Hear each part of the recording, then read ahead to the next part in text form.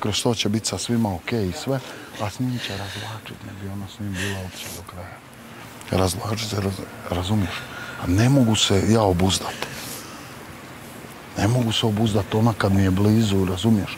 I kad me žacne malo i ja dođem u blizinu s njom, ne, a ne mogu je više ni povrijediti. Ne mogu je više ni uvrijediti, ne mogu više, razumiješ?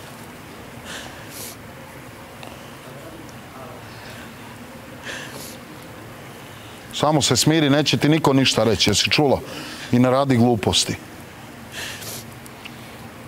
Se ja bojim kod nje uvijek njenog ponašanja.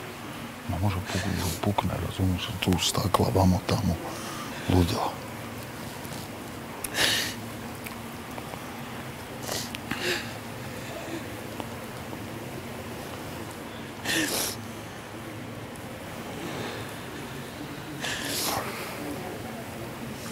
Nije, znaš koliko god, joj, joj, onda se ja...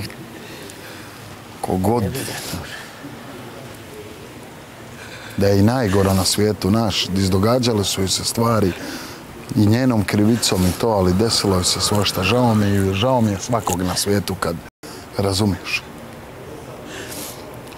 Šta vam je drka, šta je potrebno, ono da se tebi nasmije, pa tebi pošalju u izolaciju, pa mene žet, pa za stolom za, me, za mene i onako i u radiju i ovdje i ondje ružno govoriš, a znam.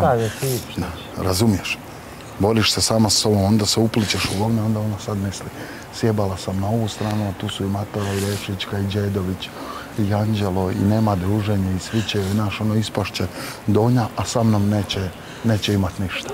Razumiješ, neće imat veze. I, i, i, i opet joj je propast svijeta. A nema, ja od sebe moram monstruma napraviti uvijek u svakoj situaciji. Vezuju, ne, vama se ne manji problem pametiti, nego je pojenta odnos vaš kakav je, znaš. Uvijek se trebaš sjetiti najgorih stvari, da pokušaš sebi izbiti kad je u nekim momentima teško. Tako ja pokušavam.